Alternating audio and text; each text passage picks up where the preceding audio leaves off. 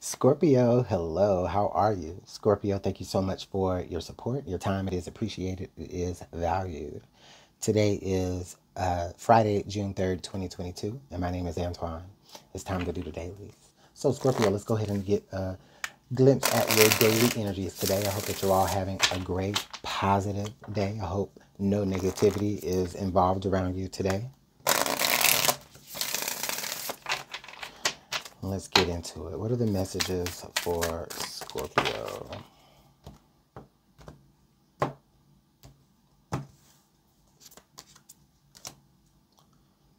Okay, Scorpio, we have the Two of Swords.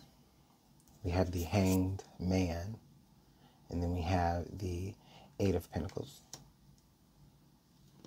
Scorpio, I feel like there's a lot that you want to get done today you have a lot on your plate. You just don't have enough time to do it all. So what so what do you make priority over the other, you know? But then still even in that, right? There's still something that's got you on pause. You can't even really it's just like all you can really do is maybe plan and strategize about what you want to do when it's time to really move forward.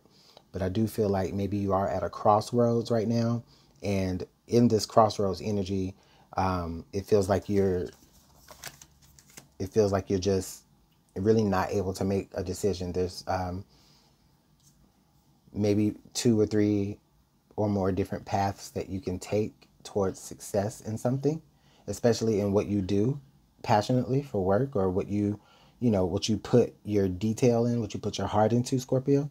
Okay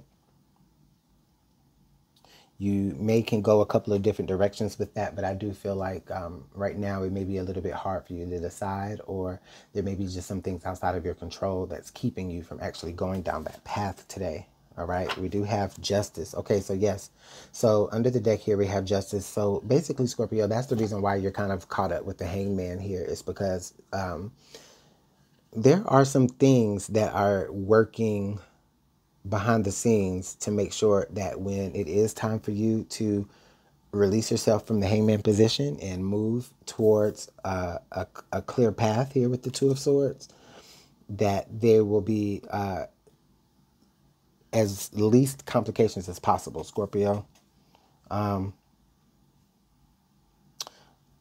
it's more like also you know uh, there's there's timing here okay um, during a certain times, spirit will make it easier for you to be able to um, do whatever this is here with the ace, uh, with the eight of uh, pentacles. Excuse me. Okay, so Scorpio, that is your energy today. Um, hopefully tomorrow will be more uh, unstuck for you, but um, but that's okay.